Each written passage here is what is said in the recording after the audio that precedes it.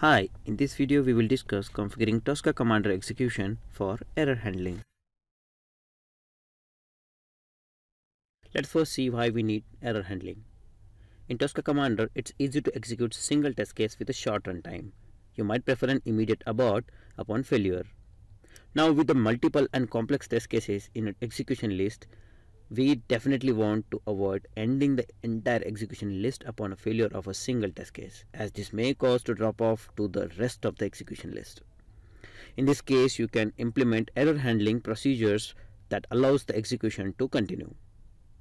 You can define how Tricentis Tosca should handle these errors for first dialog failures which are when the interaction between Tricentis Tosca and the system under test fails.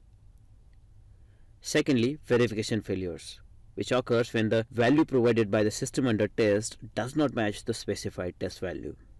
And lastly, exceptions, or unforeseen events that keeps Tricentis Tosca from executing. For each of these errors, we can define three procedure options, which are continue, execute next test case, and recover. Continue means continue with the execution of the next test step value or test step even if the preceding test step value or test step has failed. Execute next test step means if the test step value or a test step fails, immediately stop executing the current test case. Instead, start the execution of the next test case in the execution list.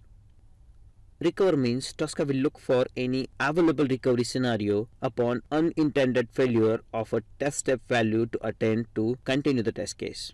If the test case is unable to recover, Tosca will stop executing the current test case and use any available cleanup scenario to set the environment and system under test back into a state which will enable the next test case to run.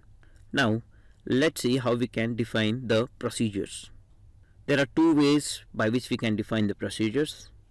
First, if you want to apply the same procedures to all the objects in your workspace, modify the respective settings in the settings dialog. Second, if you want to apply different procedures to different objects, create a test configuration parameters.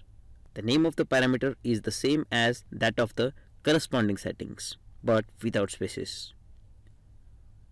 All the above ways to define the procedures are for tests created with Engine 3.0 and mixed tests. That is, test that contains both classic and Engine 3.0 test types.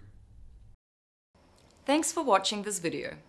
Subscribe to the Tricentis Academy channel to get the latest tips, tricks, and user tutorials to help you best utilize Tricentis continuous testing platform. For more information, please visit tricentis.com academy.